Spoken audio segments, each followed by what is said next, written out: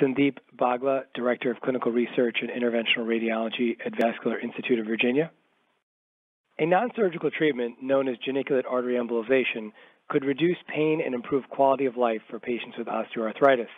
With this new therapy, interventional radiologists inject microscopic beads into the knee's lining to block very small blood vessels. Reducing the unnecessary blood flow into the knee helps lower the inflammation and pain caused by osteoarthritis without surgery, physical therapy, or chronic pain medication.